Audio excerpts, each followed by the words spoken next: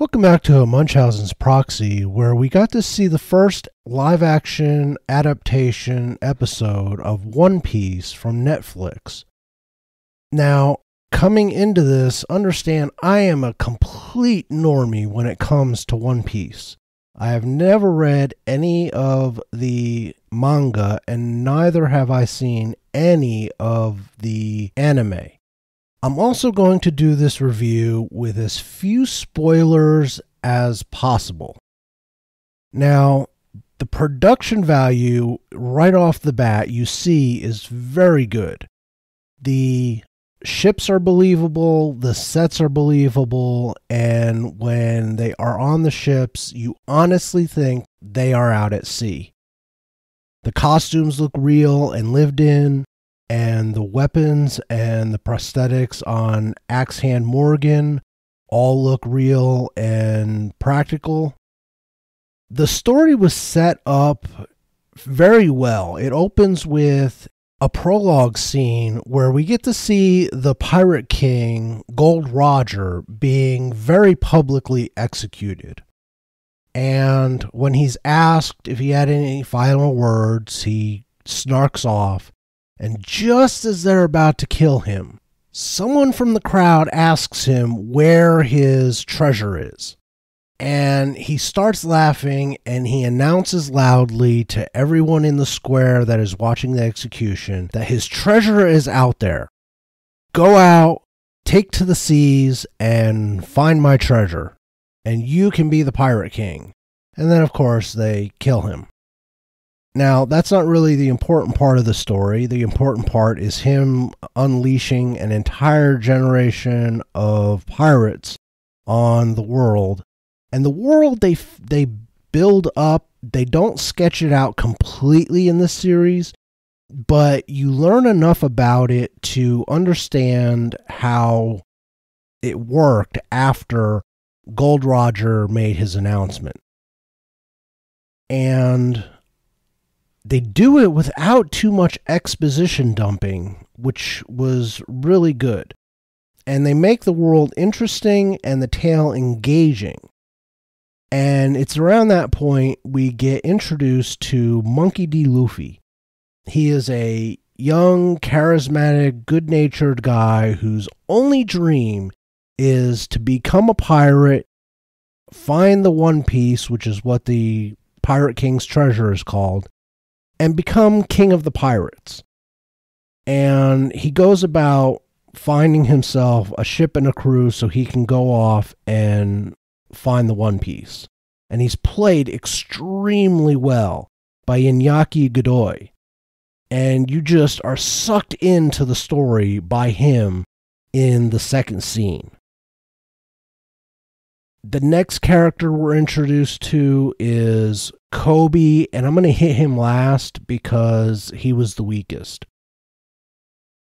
Next is Nami, and she is a tough and capable female thief who manages to do that without tripping over into girl bossery.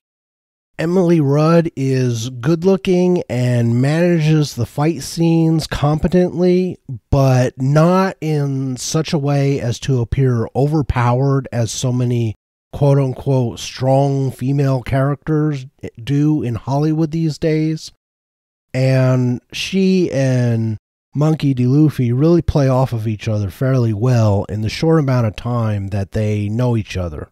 We also meet Roronoa Zoro, who is a master swordsman and pirate hunter. And he is played extremely well by Mackenyu.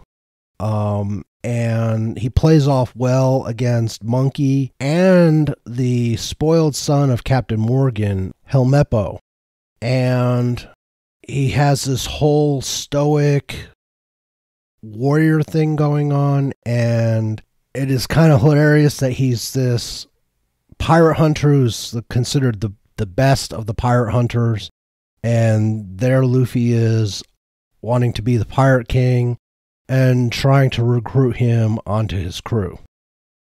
Uh, the the two had really good chemistry, especially at, at the climax of the very first episode. And finally, the character on the crew thus far who really didn't work for me. His name is Koby, and he was the cabin boy of a pirate captain named Alvida. She didn't work for me either, but I'll get to her in a minute. And he has dreams of being a Marine who basically are the police force in this world. And he's played by Morgan Davies. I'm not sure if he is an effeminate Harry Potter wannabe in the anime or manga, but it was the character that came across least engaging and maybe least believable, given that he is a skinny, timid kid, and here he wants to be a Marine and protect people and the very first fight he sees, once he and Luffy are off of Alvida's ship, he basically cowers underneath the table as everybody else is fighting. So, not exactly protector material. The chemistry he has with the other characters is more forced. It's more on their part to get the scene through rather than it is on him there's just something about the performance that just is not clicking for me thus far after one episode. The bad guys on this show are on the cartoonish side, but not nearly as much as I was expecting given some of the still shots I've seen from the anime. They are on they they are still a little goofy, but they're they're grounded.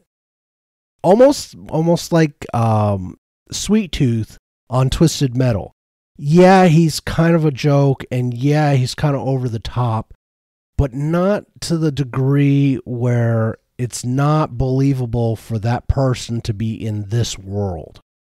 And that starts right off the bat with Alvida, who is this big, chunky woman who is a is a pirate captain and she's just going around bashing people's skulls in with a spiked mace. And given her size, it is just not believable for somebody that fat to be in a world of pirates. Being out on the ocean for long periods of time on ships in the sail age did not lend itself well to corpulence. And so she really was not believable in that aspect and that aspect alone. Everything else pretty much was done pretty well. She was just a crazy killer and loved bashing people in the head with a spiked mace. And that was just her thing. And it worked. The other bad guy that's really shown is Captain Morgan. He is sort of a I don't I don't know if corrupt is the right word, but definitely enforcing laws in a way that don't exactly comport with how things should be. For example, his son starts a bar fight and the guy whose butt he was trying to kick is the one that gets punished but overall, he's a much more grounded character and realistic character than I would originally assumed, given the way he actually looks. And the same goes with some of the other bad guys whose pictures I've seen that will be coming up in this season. Yeah, they look goofy, but they look goofy in a similar way that Sweet Tooth did on Twisted Metal or Davy Jones's crew from the second and third Pirates of the Caribbean movies, where you know they look silly, but you also know that they are probably going to kill people. It's almost like a Pennywise sort of thing, and not like the new Pennywise that looks evil, but the old Pennywise played by Tim Curry, who, as long as you don't see his pointed teeth, he just looks like a clown. And funny enough, the end of the the first episode ends with one of the pirates who does look like a clown. Overall, I would give this first episode a big thumbs up because it did everything a first episode should do and I I have been thinking for a while now that Hollywood seems to have forgotten how to do first episodes.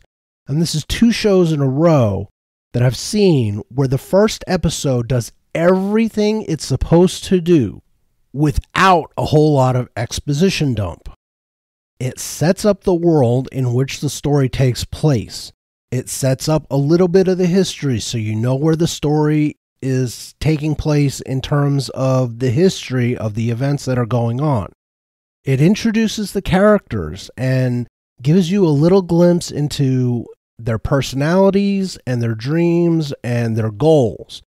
And it sets up the antagonists and what their purpose is in opposing the protagonist. All of this was done fairly neatly in less than an hour, or maybe it was a little slightly over an hour, in this first episode of One Piece by Netflix. And I went into this show thinking that this was going to be another terrible anime adaptation by Netflix because they have made a cottage industry out of making bad Japanese remakes of anime and manga. So far, after one episode, and that's the caveat one episode, it looks like they may actually have pulled this off because the characters are likable. The characters interact well together, with the exception of Koby. The bad guys are believable and they are doing bad guy stuff that makes you believe they're going to keep doing bad guy stuff unless the protagonist stops them. And the world around them is vibrant and believable and you can you can see where in the overall society of the world that is being set up that each of the characters inhabits. And that's basically all you can ask for in a pilot episode. And you don't get that anymore out of pilot episodes from Hollywood these days, especially out of companies like Disney and Warner Brothers, where they squander the opportunity to blow their audience out of the water with the first episode. That first episode is supposed to be the best episode in the entire series. That episode is what sets up your audience to stay with the show. And series after series out of Hollywood lately does the exact opposite. The two most recent examples being Andor and Ahsoka, and both of them had boring as hell first episodes, which made people walk away from them in droves.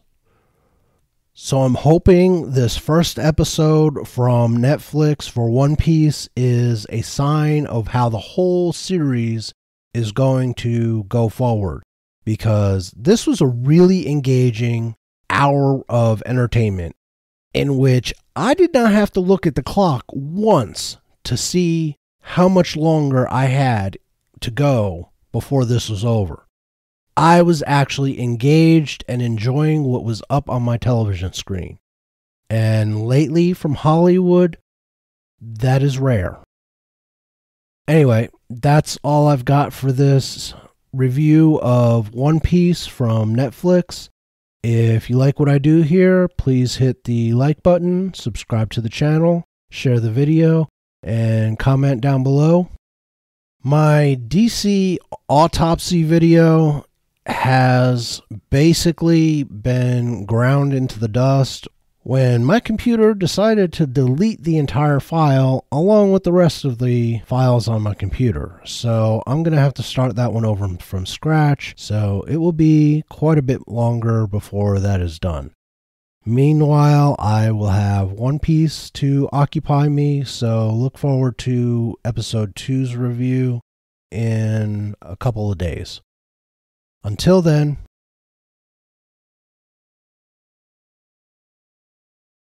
Juice.